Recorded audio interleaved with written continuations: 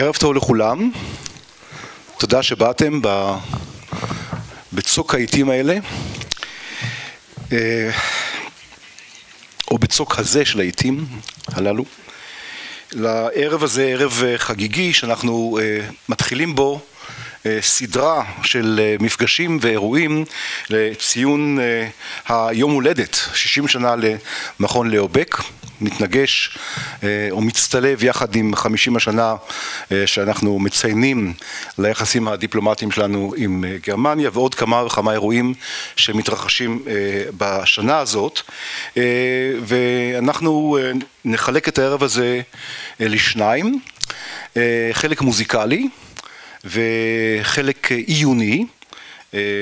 ולפני החלק העיוני רק כמה מילים, אולי זה לא מיותר להזכיר משפט שאמר ליאו בק עצמו בשנת 1953 כאשר הוא הזהיר מפני סכנת הלאומנות והקלריקליזם במדינה החדשה. 53 בישראל ידע מה שאמר יותר מאוחר כמובן עוד מעט פרופסור שמואל פיינר ידבר על מכון ליאו בק, אני לא אקדים את המאוחר.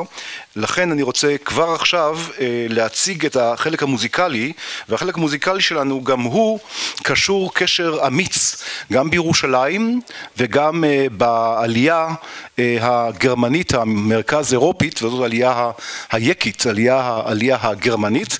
אנחנו נשמע מוזיקאים צעירים, מוזיקאיות ומוזיקאים צעירים שמנגנים מהאקדמיה למוזיקה בירושלים שמנגנים יצירות מאת האדם שעמד בראש האקדמיה למוזיקה בירושלים כאשר נוסד מכון ליאו בק בירושלים בשנות החמישים חנוך יעקבי או בשמו המקורי היינריך יעקבי שהגיע לישראל וחלם באיזשהו מקום בשנים הראשונות לפחות על המוזיקה האירופית שאותה הוא השאיר מאחוריו.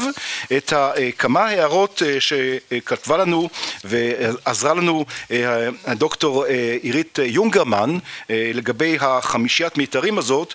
ובכן היא אחת היצירות שיעקבי חיבר בתקופת המלחמה שהייתה תקופה דווקא פוריה. היא מאוד מושפעת מהמוזיקה של פאול הינדמיט שהיה המורה של יעקבי ואחד האנשים שהוא למעשה היה בשבילו מעין דמות אב כי הוא איבד את אביו בגיל מוקדם והוא הרבה להתכתב איתו במשך עשרות שנים קיבל ממנו חוות דעת מוזיקליות וגם באמת התייעצויות אישיות. והחמישייה, אנחנו נשמע קטע אחד מהחמישייה משקפת את שני העולמות האלה. את העולם הזה שיעקבי השאיר מאחוריו כאשר הוא הגיע לארץ כוויולן, כמלחין ויותר מאוחר גם כמנהל האקדמיה אחר כך נגן גם בפילהרמונית וכדומה.